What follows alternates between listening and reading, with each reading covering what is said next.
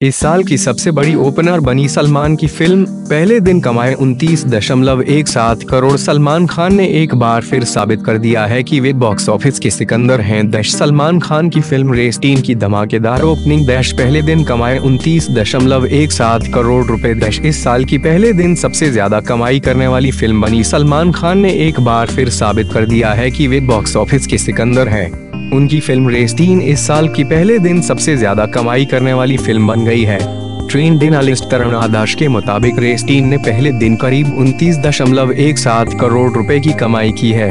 Film को critics का अच्छा रिस्पॉन्स नहीं मिला था। बावजूद इसके फ़िल्म ने पहले दिन अच्छी कमाई की है।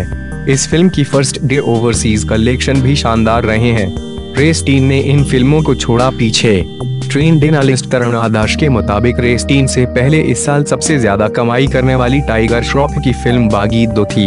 इस फ़िल्म ने पहले दिन करीब पच्चीस दशमलव एक शून्य करोड़ रुपए की कमाई की थी। दश, इसके अलावा इस साल आई फ़िल्म पद्मावत ने पहले दिन 19 करोड़ रुपए वीरे दी वेडिंग ने दस दशमलव सात शून्य करोड़ रुपए और पैडमैन ने दस दशमलव दो छह करोड़ रुपए की कमाई की थी।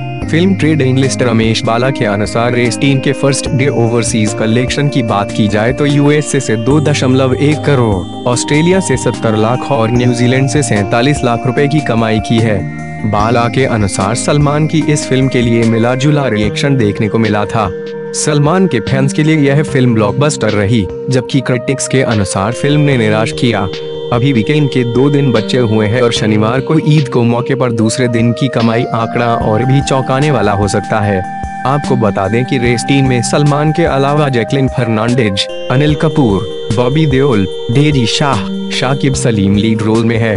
फ़िल्म के डायरेक्टर रेमो डिसूजा और प्रोड्यूसर रमेश औरानी है।